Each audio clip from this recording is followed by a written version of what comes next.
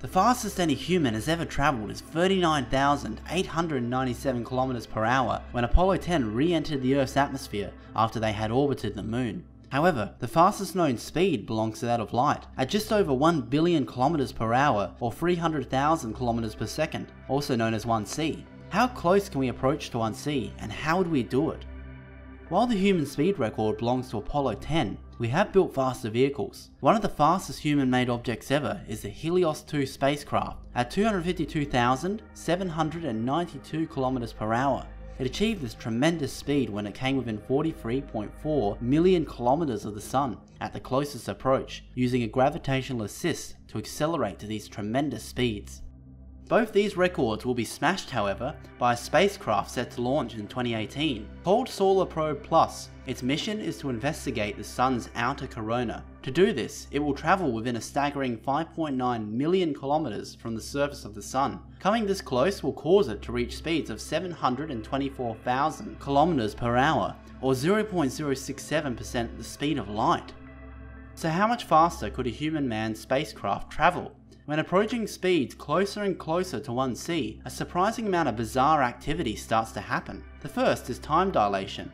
At 10% the speed of light, or 0.1c, 1.01 days pass on Earth relative to 1 day on board the ship. The effect becomes more noticeable closer to the speed of light. At 0.5c, 1.15 days pass on Earth relative to 1 day on the ship.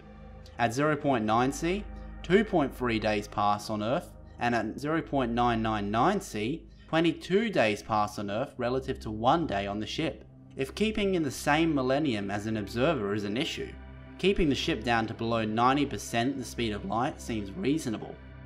However, another problem that arises even at 90% is the interstellar medium would become lethal to any travellers. A silicon grain in space that is only just 50 times thinner than a strand of hair would impact a ship travelling at 0.9 c with the force of a high energy missile. Anything larger would likely completely obliterate the ship. At speeds even higher, the energy just becomes greater very fast.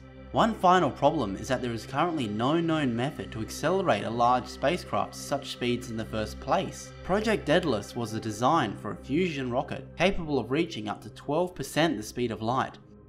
Faster spacecraft may be able to use antimatter, but getting to higher velocities and dealing with the problem of colliding into interstellar dust grains with the power of a high energy missile makes storing antimatter safely seem much more challenging. So what does this mean for how fast humans can actually travel through space? It is possible that we may discover a way to circumvent the light barrier through wormholes or an Alcubierre drive. However, if these are not feasible, no matter how advanced our technology becomes, then this will not stop us from colonizing the stars. It only means that our advance will be slowed, likely below 0.5 c.